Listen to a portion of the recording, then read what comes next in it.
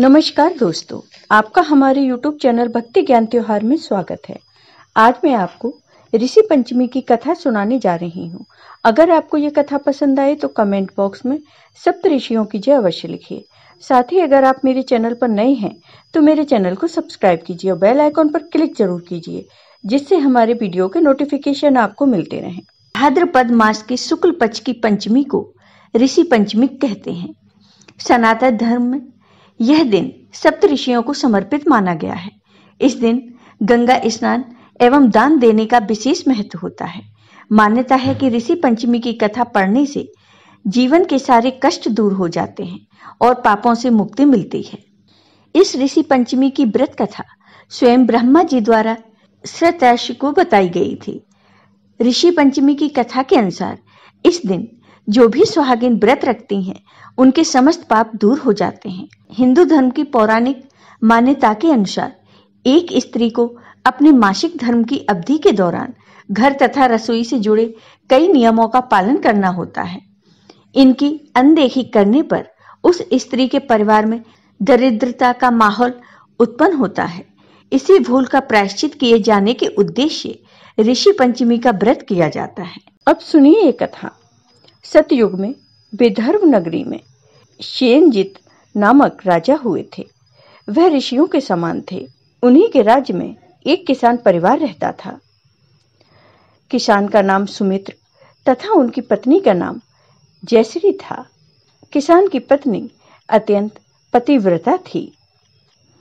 एक समय वर्षा ऋतु में जब उसकी पत्नी खेती के कामों में लगी हुई थी तो वह रजस्वला हो गई।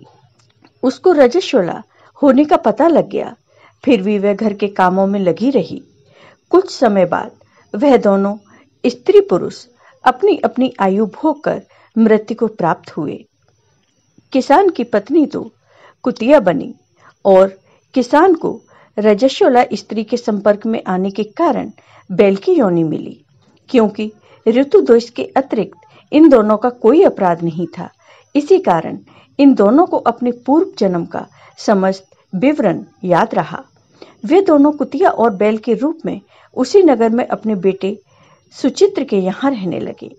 धर्मात्मा सुचित्र अपने अतिथियों का पूर्ण सत्कार करता था। अपने पिता के श्राद्ध के दिन उसने अपने घर ब्राह्मणों को भोजन के लिए नाना प्रकार के भोजन बनवाए। जब उसकी पत्नी किसी काम के लिए रसोई से बाहर गई हुई थी तो एक सर्प ने रसोई की खीर के बर्तन में विष बमन कर दिया। कुतिया के रूप में सुचित्र की माँ कुछ दूर से यह सब देख रही थी। पुत्र की बहू के आने पर उसने पुत्र को ब्रह्म हत्या के पाप से बचाने के लिए उस बर्तन में मुँह डाल दिया। सुचित्र की पत्नी से कुतिया का यह कृत्य देखा न गया और उसने चूल्हे में से जलती लकड़ी निकालकर कुतिया को मारी। बेचारी कुतिया मार खाकर इधर उधर भागने लगी। चौके में जो जूठन आदि बची रहती थी, वह सब सुचित्र की बहू उस कुतिया को डाल देती थी। लेकिन क्रोध के कारण उसने वह भी बाहर फिकवा दिया। सब खाने का सामान फिकवा कर बर्तन साफ़ करके दोबारा खाना बनाकर ब्राह्मणों को खिलाया। रात्रि के समय भूख से व्याकुल होकर वह कुतिया बैल रूप में रह रहे अपने पूर्व पति के पास आकर बोली, हे स्वामी, आज तो मैं भूख से मरी जा रही हूँ। वैसे तो मेरा पुत्र मुझे रोज खाने को देता था, लेकिन आज मुझे कुछ नहीं मिला। सांप के विष वाले खीर के बर्तन को अनेक ब्रह्म हत्या के भय से छूकर उनके न खाने योग्य कर दिया था। इसी कारण उसकी बहू ने मुझे मारा और खाने को कुछ भी नहीं दिया। तब वह बैल बोला तेरे पापों के कारण तो मैं भी इस योनि में आ पड़ा हूँ। और आज बोझा ढोटे ढोटे मेरी कमर टूट गई है। आज मैं भी खेत में दिन भर हल में जुता रहा। मेरे पुत्र ने आज मुझे भी भोजन नहीं दिया और मुझे मारा भी बहुत। मुझे इस प्रकार कष्ट देकर उसने इस श्राद्ध को निष्फल कर दिया। अपने माता पिता की इन बातों को सुचित्र सुन रहा था। उसने उसी समय दोनों को भर पेट भोजन कराया। और फिर उनके दुख से दुखी होकर वन की ओर चला गया। वन में जाकर ऋषियों से पूछा कि मेरे माता पिता किन कर्मों के कारण इन नीची योनियों को प्राप्त हुए हैं और अब किस प्रकार से इनको इस योनि से छुटकारा मिल सकता है? तब ऋषि बोले, तुम इनकी मुक्ति के लिए पत्नी सहित ऋषि पंचमी का व्रत धारण करो तथा उसका फल अपने माता पिता को दो।